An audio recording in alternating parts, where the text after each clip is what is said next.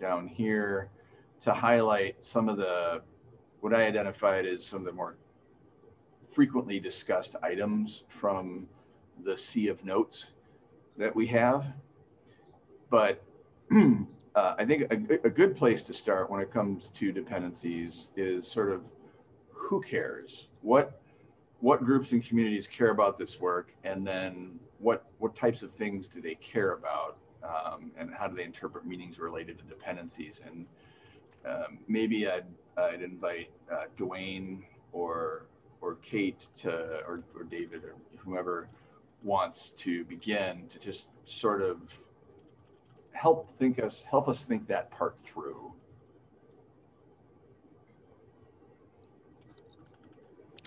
Okay. Uh... Like, who cares? Like, um, what groups and communities are interested in the dependencies work?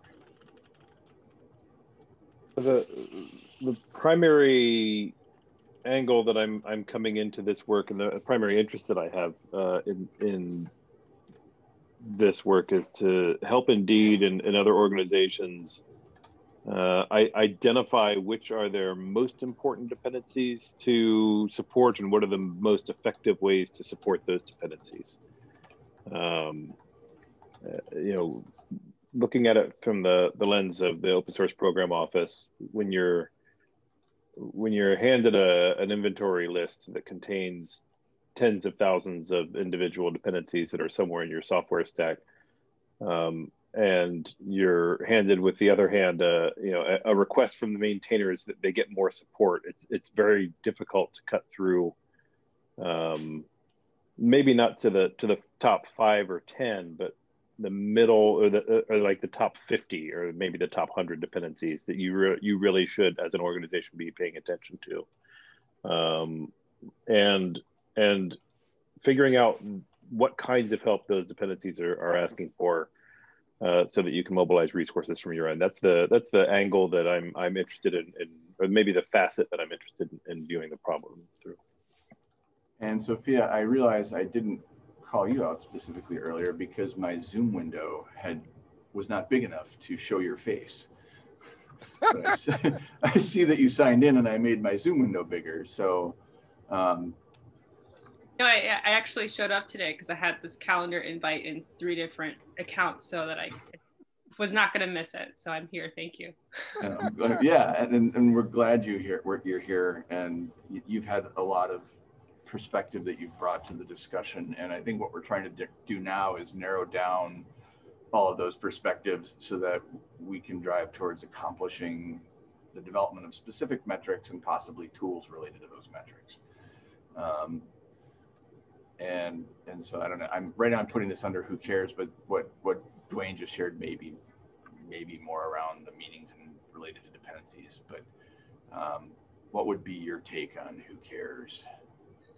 Um, I guess I see it from a few personas. There's the developers that wonder whether or not their software code is dependent on something to execute and run and build. So sort of the all the software dependencies that we discussed, and whether or not that actually is functional software that is not articulating well, have not had enough coffee yet. Um, the other persona I would think about is security and just vulnerability assessments, especially as um, I am also within an OSPO within Google, and that would be something that we care about a lot to understand what we depend on and the continued availability of that component. Um, I would actually add one. I mean, it, it's a persona, but a different role. Uh, if you don't mind, I would put it just before the developers want to understand their dependencies. Uh, it's developers who are thinking about adding a dependency uh, or trying to make that decision. Uh, because if we don't help the people make good decisions, we're going to be endlessly stuck on the rut of trying to undo bad decisions. And I'd, I'd, I'd rather help uh, reduce the amount of problems coming in. And I think that's actually a different situation because you're typically, yeah, no, no, I, I yeah, yeah, okay, yes, yeah, proactive, yeah, because you're typically at that point you're making a choice, and so you're comparing alternatives. Whereas once you've made the choice, it's hard to undo, and often you're going to try to live with the choice because uh, switching is pain. Yeah, I, I may be a very bad developer, but my approach is usually, does this, does this dependency do something I needed to do? Great, I'll go with it. Um, Yeah, I usually try to do the next step, which is what are my options? Uh, now, maybe, right. maybe Yeah, I'm, I uh, mean, I do that too, but eventually Okay. I pick something without assessing it's some of the things that we're talking about. There's also the legal and compliance component. You know, we're a large company, so we always think about whether or not we're in compliant compliance with the licenses involved and that we're not going to get sued because we use something improperly. So understanding what you depend on and then knowing what what the legal criteria are around that component. uh, just as a quick uh, note, Sophia, I realize, you know, for, for Google, you're worried about getting sued. For small companies who might want to get bought, they're worried about M and A, uh, because this is this. I've I've heard more than one stories. Kate probably knows more of these than I do of M and A's uh, getting torpedoed because of serious legal problems. Which, you know, if if the whole point of your company was to get bought, that's kind of a problem. I would I would agree with that too. I think that applies to any large or small company. Yeah, for different reasons, but it's the same problem.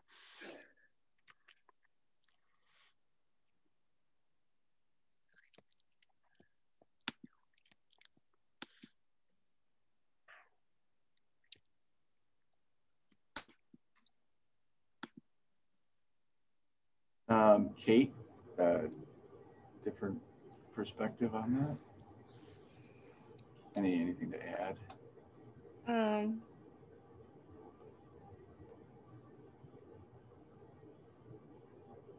I think you know- know. I think just for me, it's it's sort of like okay, understand. It's it's. I think most of what's been said sort of catches the things I've been thinking about. Um, the only thing I, I maybe can add is the fact that we need to have it be able to be any type of metrics and so forth. You know, if just having a number isn't sufficient, we need to be able to drill, drill into it so that people can do things in action, be action, know, action them. So I, you, you know, you have a certain set of dependencies. You want to be able to understand. Okay, I'm running this container. You know, what's in it? What does it depend on? You know, is something going to change? So it's a security, and as well as the licensing.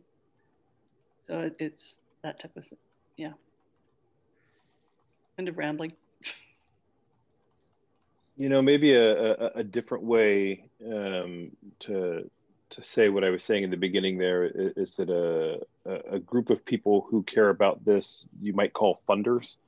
They either are coming out of um, the foundational funding space, um, or they run grant programs, uh, or they're organizations who you know want to mobilize funding for um, open source dependencies or or to help shore up dependencies that may be at perceived risk.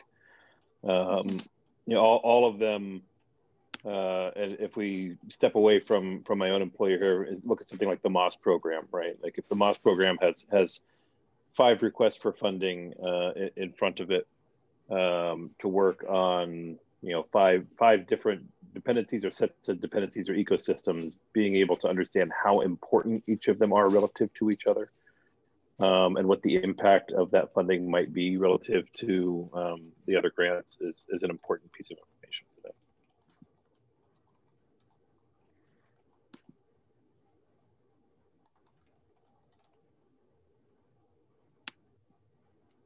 I think that covers the, the who cares unless anyone has anything to add to that. Uh, a next step might be to think about, since this has become a vast space and led to many really great um, discussions, one way to focus those discussions uh, into the development of metrics and possibly tools is to think about, are there, are there different focus areas right now within the working group for risk? That we might want to establish. So we have a spreadsheet and that spreadsheet has focus areas. I think, I think dependencies are kind of littered, not littered, littered sounds negative, but dependency oriented uh, metrics as we've started to enumerate them are in lots of different places. And it may be the case that we want to call out categories or focus areas for dependency metrics so that we can group them specifically and distinctly from other risk metrics and, and possibly use those focus areas to draw in additional participation to the development of metrics and tools in this space. So I just shared a link to our metrics tracking sheet in the chat.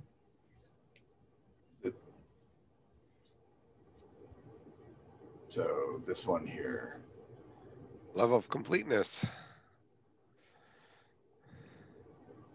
So this is what it looks like. So basically the way that we, if you scroll all the way to the bottom, Sean, I had just put. There's some placeholders. Some placeholders in there. And so um, we typically have a particular focus area, and some of this can move around too, but a focus area that would be kind of the higher level categorization for a series of yet to be developed metrics. And so the I think what Sean was bringing forward was what might be those kind of meta categories on row 71, 77, and 83 that we might think about capturing um, a set of metrics that could inform that area.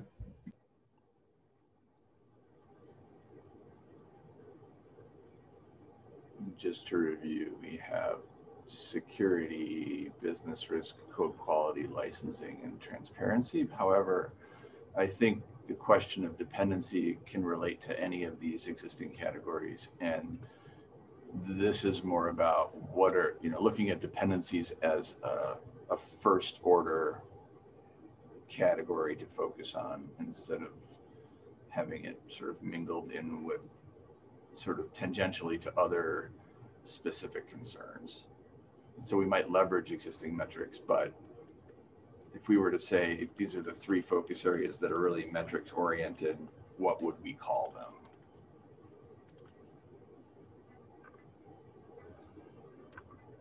I mean, I, I think to your point, Sean, there we could see dependency metrics in all of these. Yeah. So the maybe the top level is really about some element of risk assessment. If there's a, some sort of measure that if you have I guess it, it, would have to be something compounded versus just a flat number because the number of dependencies doesn't necessarily dictate the level of risk of using that project or component, mm-hmm. but that it is it is related. So it could be some overall dependency metric that's associated with risk, given that this is the risk working group. But then we could have nested metrics that align to all of these sections. Like I, I, I could see, I mean, we've talked about security, quality, licensing. I mean, all these things are coming up as other other things that could have their own measurement. Would there be possibly dependency risk assessment for security being distinct from dependency risk metrics for licensing and sustainability? I'm just throwing ideas out. I mean, it could. I mean, uh, it, I think there's some overlap. Right. Um, uh, yeah. So should we just go with dependency risk assessment? Can I restate, Sophia, what I what I what I what I heard when when you were saying what you were saying there, and it's going to be completely different language because I was thinking in another thread there. But we know that um, we know that a project with zero dependence uh, that there's not uh, with zero dependence and zero installed has a risk of zero, right? Like there, if, if no one's using it and no one depends on it, uh, if it mm-hmm. if it went away, the, the odds of it causing some kind of problem are are, are very difficult. Uh, the the odds are very low. We we know that if a, a project has 250 million dependents, that that project going away, uh, the risk is, is, is there's very high risk that if that project suddenly went away or if there was a problem, that it would have a wide impact. The problem I think that you're talking about, Sophia, is that if it has a, a dependent of one, that risk could still be incredibly high, right? Um, if we if if you only use it in one project in your organization, but that project processes all financial transactions, the the the chance for risk there is very high, and that that like that place in the middle of, of how to assess risk for things that are just beyond um, you know how widely is it used is is what you're talking about when you say you need to have a compound metric rather than just something that's flat numbers That's what I heard when you said that, or kind of between the lines. Does that sound accurate? It does. Um, and the problem with compound metrics is they would also be context dependent. so it's it's harder, I think, to if we want to create a singular metric that is generally applicable. I think that's always going to be tricky with something like risk. Yeah, and in fact, even finding out what depends on it is a challenging thing. You can look at li places like libraries.io, which will tell you what open source libraries depend on the other open source libraries, but you won't be able to find out, well, what programs use it. That's a completely different story. And download counts uh, actually are remarkably not helpful because if someone sets up their test infrastructure to download a dependency every time uh, they run a test, uh, you can get huge numbers for something that isn't used very often. Uh, whereas if somebody caches things properly, you may never notice something that's widely used.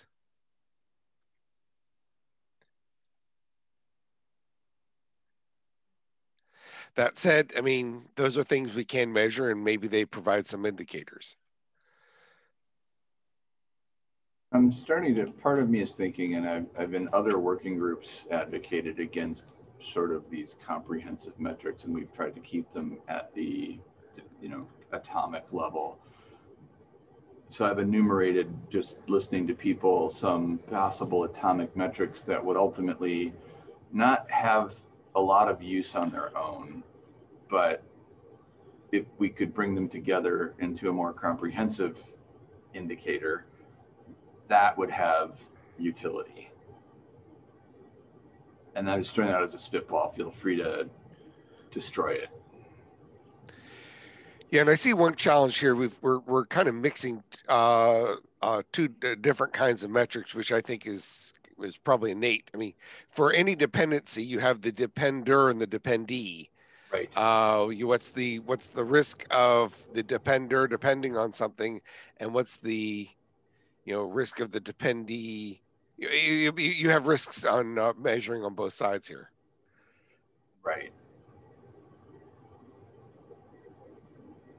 Well i would and think we'd want to focus it on the the personas themselves. So in that case they would be the dependees. I think if i got that yeah. well because i'm kind of thinking of the things that they depend on. And then if everyone has a metric of the things that they depend on then it should in theory have all of the above versus thinking about bidirectional dependency, which I think is valid if you're thinking about, say, full system infrastructure and how everything interrelates. But if it's just an individual project, then I, I guess I would, if I had to pick one direction, I would pick the dependee. The dependee, what what is being depended on? Yeah, what what they need in order to run what they have. So developers, security, legal and compliance. Yeah, I have to admit, if I was going to focus on something, I'd actually focus more Unders. on the depender because they can make the choice. Oftentimes, the dependee, you know, it doesn't matter. Oh, you say you say it's really risky. Great, pay me. uh, that's it. You know, or, or you know, I I did that 12 years ago, and I don't care anymore.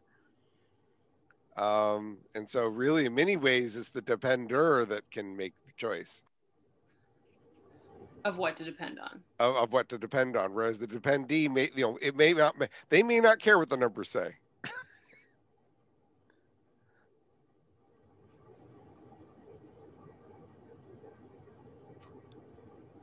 I, supp- I suspect I su- there's use for both, but I yeah. Well, I suppose from a if you take the personas from a funder perspective, they care a lot about projects that are depended on by a lot of organizations. Um, organizations consuming dependencies perhaps care more about the dependencies that they depend upon. Right. Like those two different are those are those two different stakeholders who care interested in those two different parts of the coin. I mean not exclusively, but the course level. They might be. Although I, I al- al- although I think the incentives are different, and this is usually a challenge. I mean, the one who's depend the depender, the one who's depending on other things, you know, they have a larger system they want to get working. The the dependee, um, you know, they presumably had some use case, but they may or may or may not care that much about some of the other use cases. I mean, So, so is dependency risk assessment for the project depended on one focus area and dependency risk assessment for projects an organization depends on another focus area? Do those become? Those sound like the same thing. I, I wait, wait, Sean, are- Yeah. how are these different? You said depended on or depended on twice. Um, well, what I meant apps? was like, I was thinking the funder and the organization consuming dependencies as personas, and I was trying to put that into words and failed.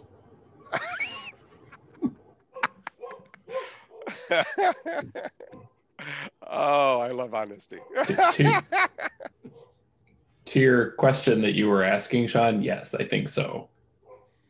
So the, the question being that there seem to be these two different personas. One is the risk associated with dependees.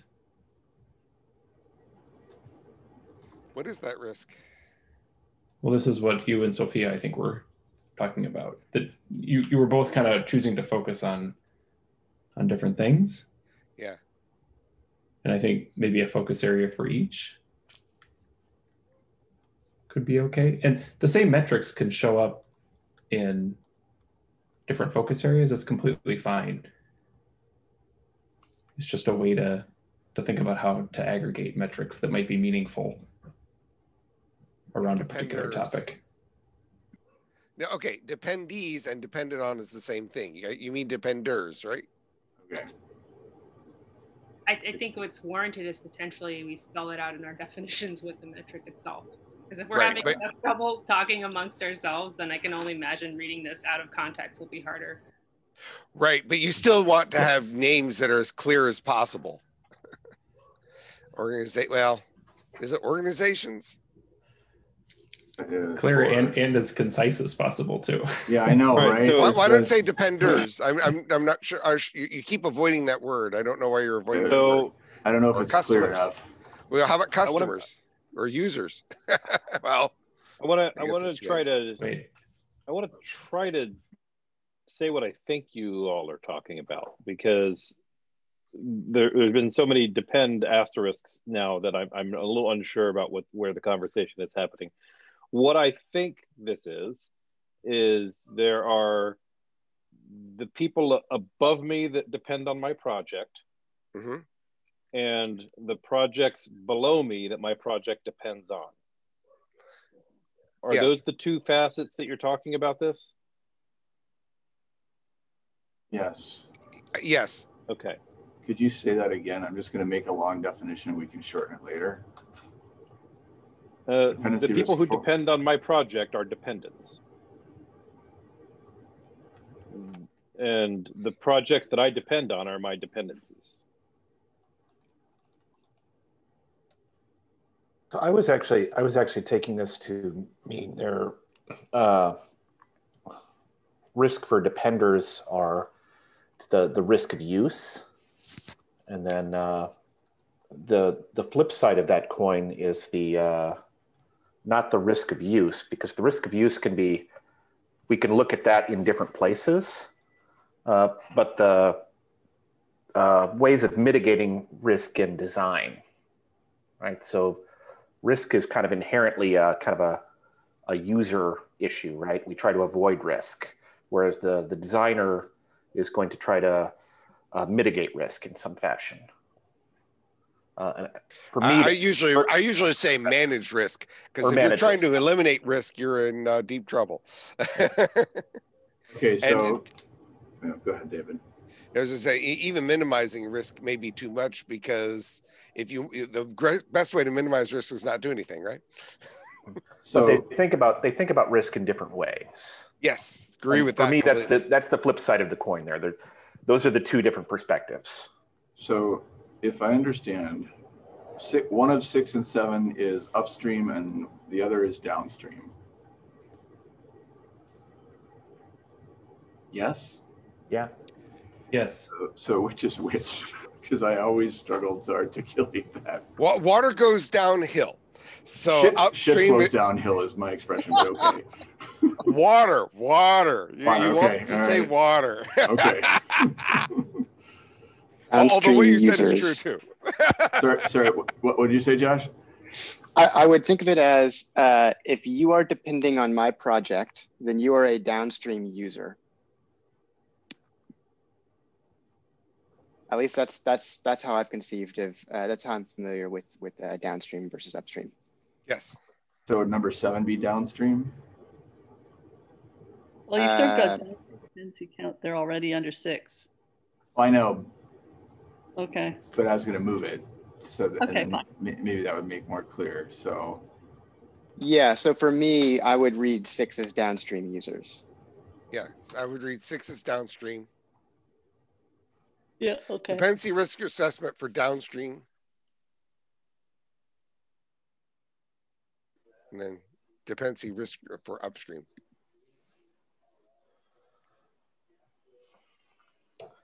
I know we moved beyond this already, but while Kevin was talking, I was thinking about our personas again. Um, and I didn't know if we wanted to say split up the development piece um, and that there is distinction between the engineers and the architects. But that might be too granular if we want to just bucket into those who build things and whatever role they have within it. I would think architects, at least in my long ago experience, have more time to think about and investigate depend, things like dependency risk. And developers are making fast decisions to meet their deadlines and maybe are less rigorous in their evaluation. Mhm. And so they, they, they want the same outcome, but they probably, the developer needs something quick. Yeah. Do you, do you think that the behavior is distinct enough to have them separated in terms of persona? Because I'm assuming that would be articulated potentially in distinct kinds of metrics. But if, in your point, if they're trying to reach the same goal, then it might not make sense. We might be incurring more complexity without a lot of value add. I would, I guess my first thought is that when it, when I think about things like licensing risk, I think an architect may be concerned about that. I think a developer in many cases may not know that exists. You know, unless they're well managed. Um, you know, increasingly, that's a topic, but I'm, Duane, Josh, what do you think? I think the That- average developer doesn't care what the license is. They just want to know if they can use it. Hmm Yep. To- totally agree. Archi- uh, the architects I've worked with tend to be a little more attuned to that thing. Attuned to licensing, that is. So Right, would we, I, I could add that to the notes. I didn't want to derail where we were. I just, that, that came up organically. But it might be in, the- uh, there might be like a folk developer dependency risk and architect dependency risk. I don't know if those be, those, those metrics of course would intersect with the upstream and downstream. However, uh, if, if they had distinct focus areas, they would also likely generate distinct metrics. Yeah, I'm confused here. Down downstream is the folks who are on the downstream. That that's where libyears and average libyears would show, right? So uh, I, I- you know, I certainly Yeah, I, I think, think libyears you're- good, but I would move that to to uh, six. Oh shoot, we still have a confusion. Are we evaluating the risks caused by downstream, or am I in the downstream? I,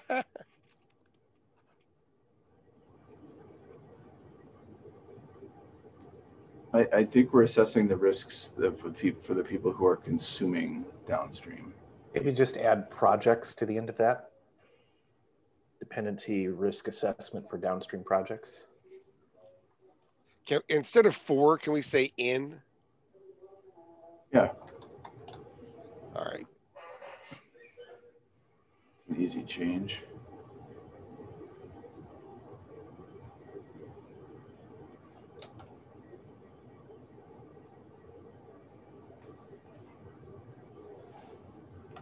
So we have we have metrics.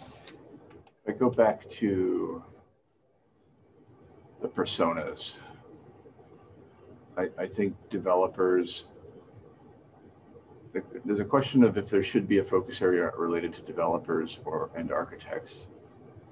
And and I do think that those personas are distinct but not exclusive with upstream and downstream. So I don't have a strong opinion. But I do I, think I also, Go ahead, Kate. I also think the other persona that's key is security. Security person. Uh, possibly also organizations as well. I think all of what do others think? Is all of this about organizations or are organization dependency risks distinct as a focus area? Organization's much, much larger than I think that we're honestly focusing on. So Duane, I, I, Duane and Josh, would your organizations be able to, you know, are these consumable ideas for focus areas that that fit the organizational needs that you have in mind and Sophia as well?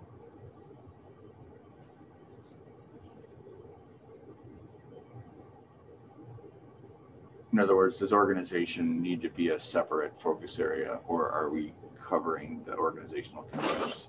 in these two in these two focus areas? I'm uh, not sure I fully understand. I, I apologize partially. Yeah, it doesn't help that I was late, so I don't I don't have the full context for that question. So it's um.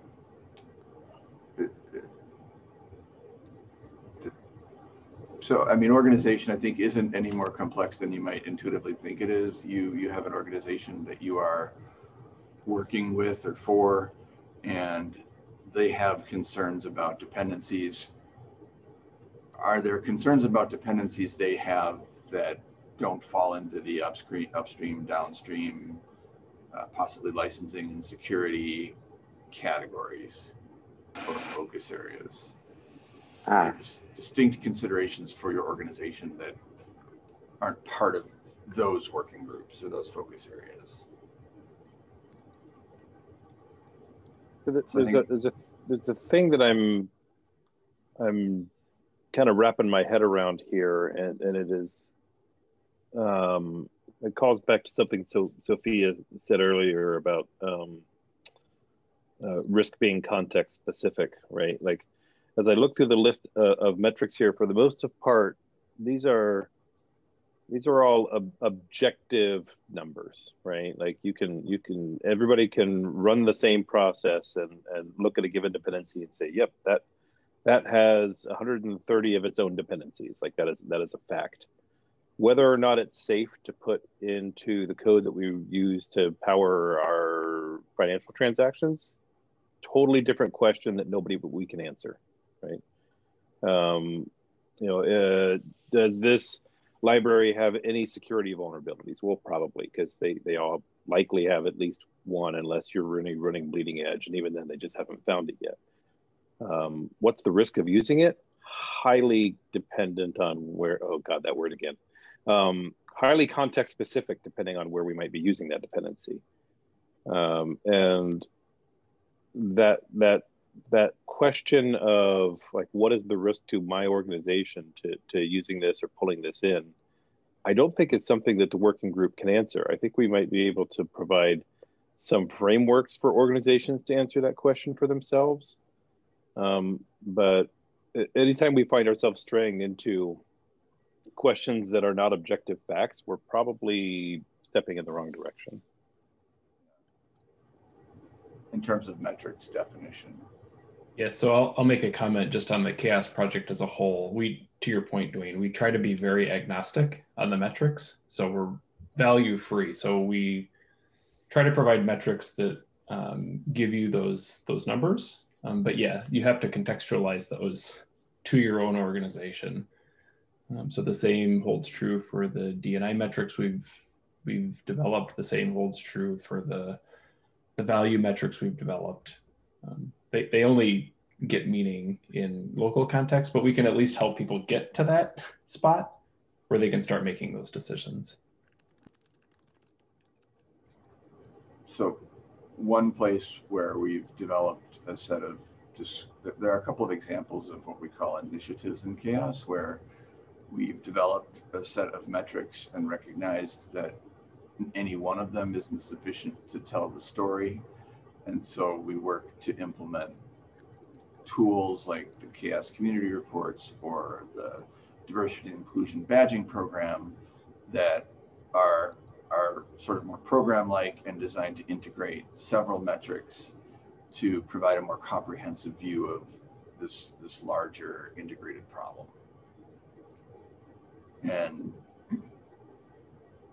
this may, you know, as I, I think about the things we're listing, even under downstream, I can't make a downstream risk assessment or a downstream dependency risk assessment without most of these metrics. Oops, uh, girls have RTI starting at 1050 in case you needed to know that. Uh, I would I would agree with the direction this is going because I was trying to think of examples of organizational specific dependency questions that aren't currently covered, and I think they are all related to your existing context, say the people in your organization and what they use, what they work on, and how that relates to what you end up using as a project. And then on the other side, your the context of your existing infrastructure environment. What's it going to be able to run on, and are there any physical dependencies that you might have in terms of what you can and cannot implement on top of your existing stack? And that's entirely context specific. So I think it, it's too it's too prescriptive in a way that we would never be able to see inside. So I, I kind of like the idea of, of discussing the applicability to an organization as you take these objective points and contextualize them as needed. And I think it, when what you described, Matt, it seems like the rest of the project has approached taken that approach as well. So I think, I guess I'm arguing that organizational dependencies, if that's if that's the Uber umbrella, is probably too broad for what we're trying to achieve here.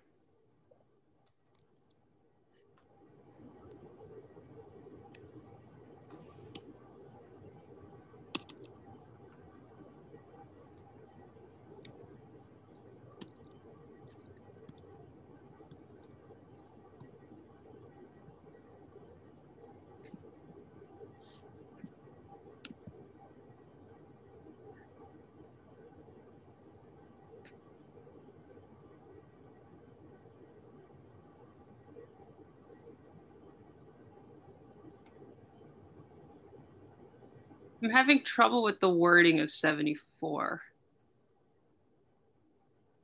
Yeah, uh, that would be those would be my words. Uh, trying, is there a dependency that seems to be losing developers that that that once looked okay, and now is starting to look less okay? Do I have a dependence, which is kind of uh, an upstream concern as well.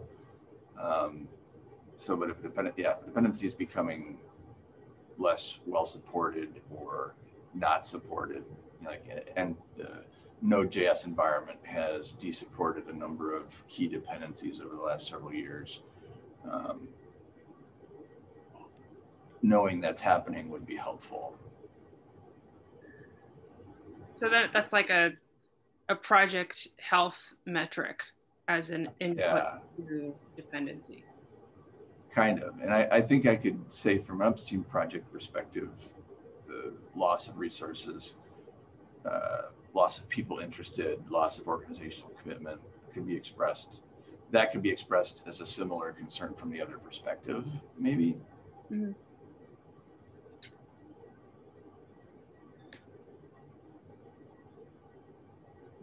Uh, potentially a silly question, but is that something that's covered in any other CHAOSS working group? Would that be something that we nest with an existing metric? So it is. So there, there are metrics along these lines that we could uh, refer to. So we have the ability in the spreadsheet now to refer to another working group's metric and say that it's a component in this focus area for us. Um, and there are, there are definitely metrics like elephant factor, bus factor, um, Well, we have like just But- in there's a whole working group whole for the ev- ev- evolution Yeah. of projects, like the growth, maturity, and decline of projects that can look at things like you know issue resolution time, right, which might give you indicators that something's up. Yeah. New contributors, yeah. Yeah, pull request responsiveness and new contributors are two of, they integrate several metrics and they're, they're the most asked for kinds of reports that we get. I actually think there's going to be a fair amount of overlap from the evolution working group and the uh, the number seven uh, upstream projects focus area. I think there's probably going to be a lot of overlap between the two. Yeah. I think there may be, yeah, I think there could be a value overlap there because certainly in upstream projects, there's a, if you become large enough, you develop funding dependencies that are either tied to organizational support or external funding. I don't know. I don't know if, do we, do we want to, we have a five minutes left in this scheduled call. How do we want to use that time if we go back to our agenda of um, the who cares? Um, is there a minimum viable product for dependency metrics? Might be a good a good question. Might be. Well, I think one of the things that I could do as an action item is from the the who cares part, and then what was jotted down in the spreadsheet. Just try to organize that a little bit, just in a like in a way that, to Sophia's point earlier, that we can all articulate it clearly, so that others can understand what we're trying to articulate. Um, so maybe trying to just bring this discussion together so that in two weeks we have something to go off of. Yeah, having uh, struggling over this particular organization, maybe it'd be better to just kind of identify metrics that re- are reasonable, and then back up to what are the what what do they help us determine instead of trying to force an organizational structure upon it. We, we could do that too. Yep. I even think just the two focus areas of the upstream and the downstream might might be at least help. They're so broad that that's Right. okay. And really, Yeah. anything that measures a project is probably a relevant metric from the point of view of someone who consumes that project.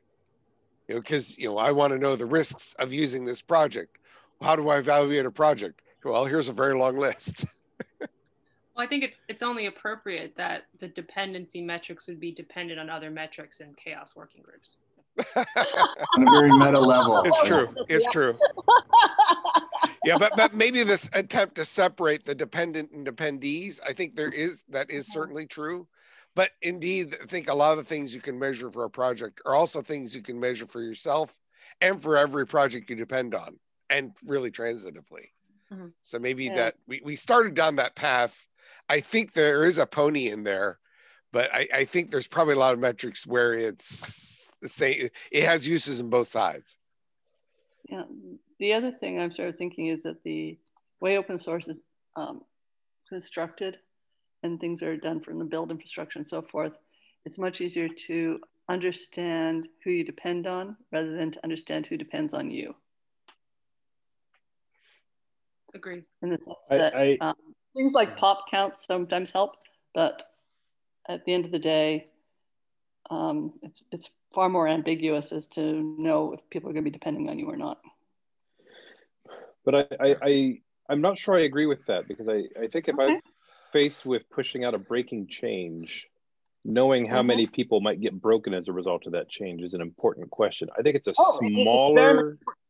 You, It's a very much important question. I'm not saying the question is important. I'm just saying that the infrastructure and the information that we can mine to get to those dependencies is lacking. yeah, breaking Right. changes are often identified by people screaming. This, and this, if I'm not mistaken, though, was was the original problem that Libraries.io sought to solve was to help people figure out who was using their stuff, um, Mhm. not just so that not just so that they could um, figure out who's going to get broken by breaking changes, but also so they can figure out Like, you know, should they be charging for what and how? Uh, and it's subsequently, I know for sure the same problem that deps.cloud was set, set out to, to, to solve, figuring out who's using my stuff, right? Josh, what are your thoughts there?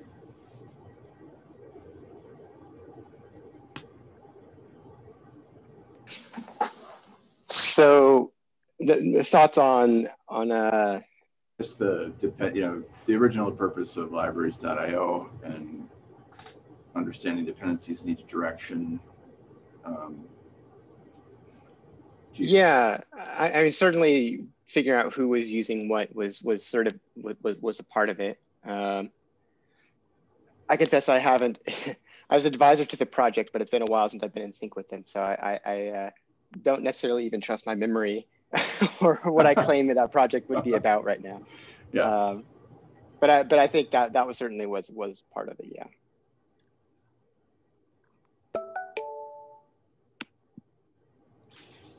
um, we are we're at time. Is there anyone who wants to add anything, or should we um, thank each other for an organizing discussion uh, of many of the things that we've talked about, and thank Matt for taking the action item to try to cohere a little bit, cohere this a little bit more for a subsequent discussion. Try. I'll try. Or is there more we should discuss right now? I'm afraid I do need to drop. So. Yep, I'm good. Okay, All right. Um, Thank you, Sean. Can I briefly say that uh, sh- there, this may not be the best time for Kate, well, for a number, for a couple people um, on the call. So uh, I will send